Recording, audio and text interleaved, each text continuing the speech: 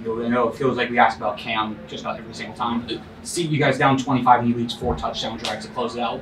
Just the fact that he doesn't flinch. Just what's it like watching that? And it seems like each week he's finding new ways to, to do what he does. Yeah, his, his posture and the way he leads is very encouraging to a lot of us. Uh, I mean, he's always calm. You know, if he throws a pick, you know, you, all, you always see the same Cam. So he's a great leader, and you know, we, we'll back him up no matter what. So.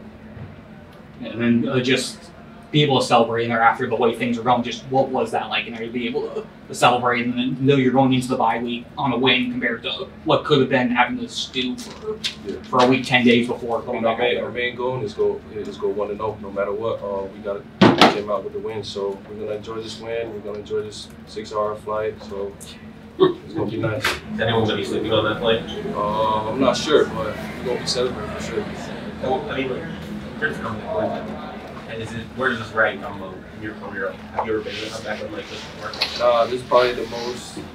Um, it's probably like the best comeback I've ever been a part. So I think being part of that is it means a lot to me.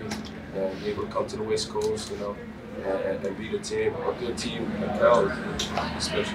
How do you guys, how do you guys Let's say, two more for Kiko. it's 35-10, it's brutal, like, it, it can't be fun on the sidelines. Who keeps you guys uh, motivated? Who keeps you guys in the games? Is it, you know, you and other players? Is it coaches? Is it a mix of both? It's it's everybody. I mean, our teammates on the sideline, just you know, hyping each other up, encouraging each other up. Uh, you know, it's never we will never stop swinging until uh, that clock goes zero. So I think everybody just poured in, and you know, we, we kind of had to dig deep into ourselves and and had to find find a way to, to win. Kiko, how did Rueben look to you in his first game back?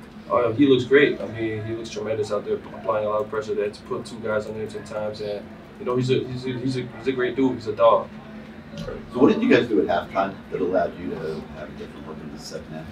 Uh, just going over the, the uh, some of the adjustments that we needed to uh, figure out on the on the uh, to to know what to expect on the offensive side. So everybody was just encouraging each other. Um, I mean, the teammates, our leaders were stepping up on the on the plate to you know have a Last good one. mindset for, for everybody to, to play the game. Nikiko, uh, Mendoza was making some, some big, big chunk throws. Um, what, what was he doing to, you know, what was he doing right?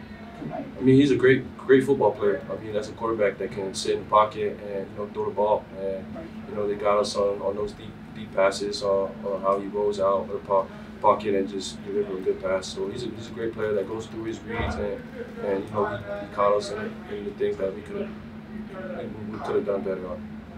Nice, Kiko. Thank you.